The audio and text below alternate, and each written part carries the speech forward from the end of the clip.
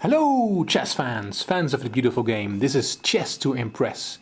Today I will tell you about the adventures of the 13th world champion Garry Kasparov in the Blitz Challenge, the ultimate Blitz Challenge in St. Louis in April 2016. Kasparov retired in early 2005 and he has come out of retirement a few times. He played matches um, against Nigel Short and against Anatoly Karpov. But this, in April 2016, was the first time that he took on the world elite. There were four players in this Ultimate Blitz Challenge, the three strongest players from the United States of America, Hikaru Nakamura, Wesley So and Fabiano Caruana. And there was Garry Kasparov. They played over two days, 18 rounds, so six games against each other. And I will show you Kasparov's knightmares, knightmares with a K, because on the first day Kasparov blundered three knights in four, in five rounds. This is the position Wesley So white and Garry Kasparov black and this is the position after 24 rook a8 to c8. If you count the material you can see black is a pawn up. He has two passed pawns, connected passed pawns on the queen side and he's clearly better. All his pieces are active. Here So played rook f to d1 and now there's different options for Kasparov. One move would be to start running with the pass pawn. a7, a5 is a move.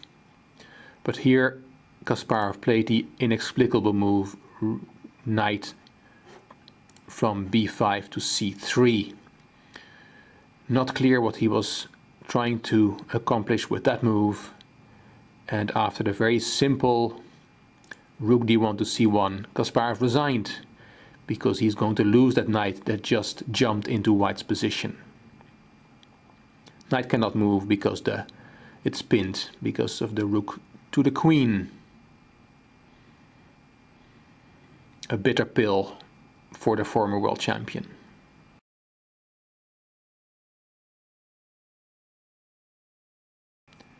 That was from the fourth round. We jump three rounds to round seven and again, Wesley So was the lucky one. Here Kasparov is white and Wesley So is black. And it's the position after 39 rook a2 to a6. Kasparov was winning. He has bishop and knight for the rook, but it's very clear what the trump card is in this position, that is the pawn on b6. A good move here would have been knight b5 with a double threat. The queen is, queen is threatening the rook on f8 and also there's a knight fork on c7 in the position. Queen f7 is a move that would deal with both threats but then Kasparov can push his pawn, rook b8 to control the pawn and now there is already a combination in the position with bishop takes e5 just to open the c file. f takes e5 and rook c8 check and white is winning easily. Kasparov did something else. He played rook b1, supporting the pawn, rook b8, and here, because the pawn is attacked twice by both rooks, the only move to keep an advantage is knight c4, just protecting the pawn. But Kasparov blundered. Of course, these are blitz games, so there's no, it's not no surprise that many mistakes are made. He played b6, b7 and overlooked that the queen or the rook can take the knight on d6 and after queen takes d6 Kasparov resigned.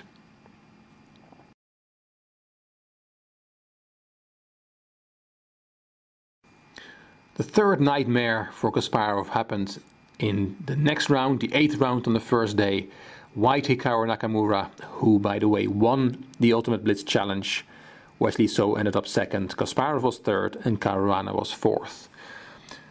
But this is the eighth round, and Nakamura white, Kasparov black, and this is after 43 knight c6 takes the rook on d8, and the position is about equal, maybe slightly better for black because of the poor position of the white king. Here, perfectly normal move, of course, is to take the knight back, king takes d8, and then white can equalize the material by, for example, rook takes b4. And the position is about equal. It will probably end up in a draw. Kasparov thought I will um, make this into a better variation. He played the in-between move rook d5 and now both knights are attacked. But he had overseen that after knight takes f7 he cannot take the knight on d3 because of the knight fork, knight e5 check. And the king moves and knight takes d3 and white is a rook up. So he had overseen that. He played knight g4 but lost the game very quickly. I'll show you the remaining moves. Knight f e5 check forces a knight swap and then rook c6 king has to go back king g1 activating the king Kasparov tries with his passed pawn rook d1 check king f2 rook d2 check and if now after king f3 Kasparov plays b2 then there's simple knight g4 and the h2 pawn is protected and the b pawn is not going anywhere. So Kasparov took on h2 trying to make something with his h pawn but after knight g6 check he resigned because both pawns will not be a threat. For example king f7, knight d5 check, king e8 and simple takes on b3 and Black has no more ideas.